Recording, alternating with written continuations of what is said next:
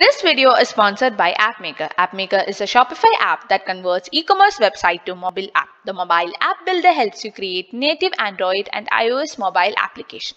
Get an opportunity to grab 15% off by being the first 200 signups.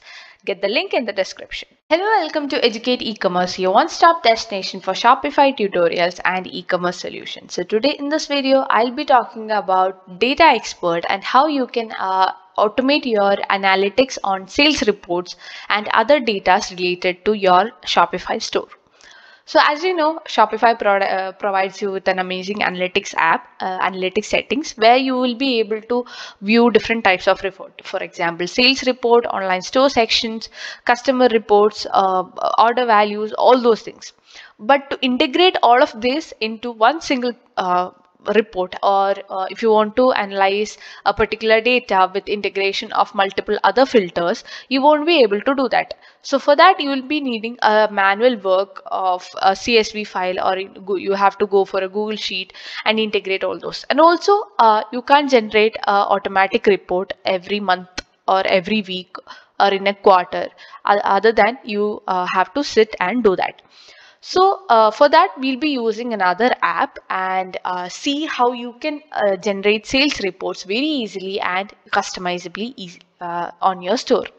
So before we get in the video, don't forget to subscribe as we come up with videos on e-commerce and Shopify every now and then to get your website performance up and top. So uh, let's go to our app store and here we have a app which is called the data uh, export reports. So you can just go to the link in the description and click onto the app page uh, to reach the app page. So here using this you will be able to generate almost 2000 plus different type of reports using this app. So all these data are customized and also there are multiple filters that you can use for your store. So I'm just going to add this app onto my store and show you how a data is taken and how a data is uh, driven from your uh, Shopify store. So you can just install your app. I'm just going to click on to install. You will be asked to uh, give a data or um, email where you or your details should be enlisted. So I'm just going to click on to continue. So here uh, you will be able to create a report from here and you will be able to uh, choose the filters right from this site. So it will take some time to sync all of the details from your Shopify store into the app export uh, set section. So I'll just take you through all of the details that you have. So here we'll have a create report option. Here the sales and orders, product variants related to uh, related filters, inventory related filters, fulfillment shipment, all these variety of options are there. And in each section you will be able to see different uh, sections. So here you will be able to see sales summary. So you'll be able to see sales summary uh, per uh, product vendor, SKU for a particular SKU from channels, all those things. So I'll show you how this is done and also you'll be able to uh, track all the reports that you have saved from here. You can also schedule your reports on a monthly basis, a quarterly basis or a weekly basis on a particular setting and also some account settings as well. So let's wait for the uh, for this to sync up so the sync up is done. So now you will uh, let's go and select some report and create a report. So since mine is a development store there won't be much of the details uh, to show you but uh, i'll uh, take you through how this is done. So uh, we have selected the uh, sales report for the month.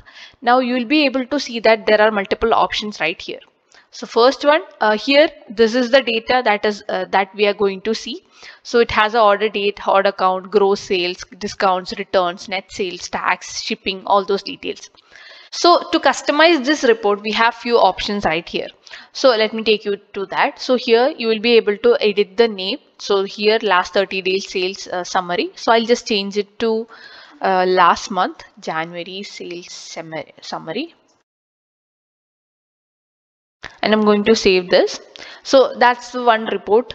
And the report type is sales definitely. And then we have a field selector. So here you will be able to select the field here. So we have the order dates order count all those details. So you can add the number of uh, columns or add the number of uh, text that you want to add. So here we have gross sales discount. So if you want to remove this discount you can just click on to close. And if you want to uh, remove the uh, returns you can also do that. And also if you want to uh, add order id so you can just add that. So also you can just uh, change it to the side as well in the numeric field or in the text field. So we have multiple options like notes tags created month the delivery date uh, the user id and uh, there are multiple other options that you can choose from in, uh, to create a report so that's about the field selector. Now again, the date selector, you can uh, choose the range from what date to what date that you want to uh, start this report. So that's the date selector one. Now again, the filter. If you want to filter the details by date or if you want to uh, filter it by uh, gross sales or any sales numbers, etc. So you can add that as well. So you just have to uh, create a thing. So I'm going to uh, total sales is greater than. So I've added a condition. So new selection and you can just click on to apply. So uh, that uh, details will be gone. So since we had applied a filter of 200 so uh, you can just close that and cancel it. And let me apply. So here the sorting uh, this also sort by the order dates and the total number of sales or anything. You can also sort the reports in that manner as well so uh, this is one report and you can just save this. So this after saving, it will be appearing in the my report section. So you can choose go back and uh, select this report anytime. And if you want to export it, you can just click on to export and we have the will it will be downloaded as a CSV file as a, how a general CSV will look like. It will be like that. So again, let's go back and I'll show you a few more things. So uh, if you want to add a product in the product variant section or uh, if you want to collect the tax details of a particular customer. So if you want to file a tax report, you can just click on to the number, uh, the tax that you have generated for a for any particular order. So this is the tax detail from uh, any order. So you can just export this and you can also uh, schedule the reports. For example, if you want to take a monthly uh, report you can just click on to schedule. And here the, you will have to choose the schedule type. So it will be hourly daily weekly or monthly. I'm going to choose as monthly so since we have that. And it will be generated in a particular time. So if i select uh, like 12 a.m the report will be generated on that particular date. The the month uh, the uh, first day of the month for example january 1st or february 1st in the 12 a.m the report will be generated automatically. So you can just save and continue and here you will you can either uh, transport it to the google sheet. You can integrate that with the google drive.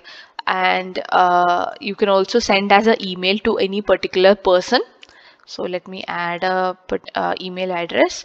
So every uh, month first date the e email will be sent where uh, the tax report will be sent to that particular email. Or you'll be you will be just reminded that the report has been generated. So you can schedule the reports in that way uh, also, let me show you some other features as well. Here in the inventory section, uh, some products will be out of stock. If you go to the out of stock section, you can see that these are the products that are out of stock. So you can restock these products uh, like uh, in a timely basis. I can schedule this also uh, as a daily so uh, every day I'll be uh, seeing which all the products are out of stock and I can uh, take the necessary actions so I'll just save this so here in the my report section you will be able to see the different type of reports that you have created then in the scheduler uh, there will be reports on a daily basis of the out of stock products it will be tax reports that will be coming in the every month so that are the few settings from the data export and there are multiple other options. For example, monthly tax, customer information. If you want to uh, take the customer information, the date, the uh, number or contact details for a newsletter example. So all those things you can do that with this.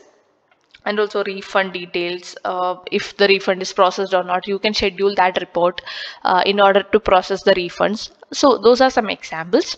Now we have the account section right here. So we have few uh, uh, settings here. So you can give a, a, shop information right here. The plan information is here.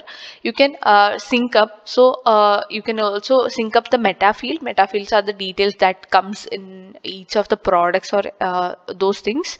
So those are the meta field sync up. It will be done uh, by this.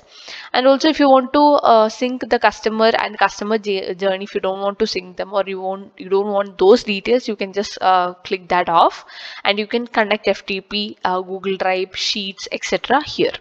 So those are uh, some options that you have in this section so this is about the data export and how you can create amazing data without uh, having to work on a Google Sheet or anything. This is a very simple plugin uh, app that you can use to generate reports and create schedules of reports. So I hope this video helped you and if you like this video give a thumbs up and don't forget to subscribe. We'll see another video. Bye.